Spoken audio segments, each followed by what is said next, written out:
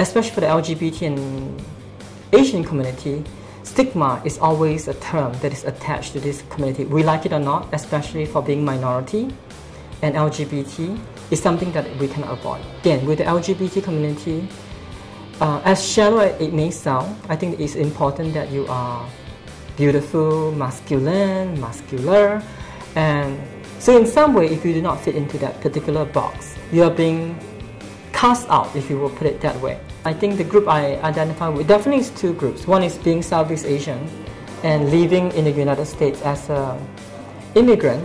I, I think it's, it's very challenging because I like it or not, I cannot hide my skin color, my ethnicity. So in many ways, I'm stigmatized by that level already. Sometimes people mistaken me as transgender or transsexual, but I always call myself genderless so I don't identify with either gender. And that made me even more outcast within the community. Blessing in disguise. It makes me want to prove a point, work, work harder to prove that yes, I'm Southeast Asian, I'm genderless, but yet I'm going to fight this stigma to, to make a point that it can be a positive thing.